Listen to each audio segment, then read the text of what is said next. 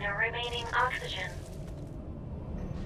Captain, supply yourself with oxygen by...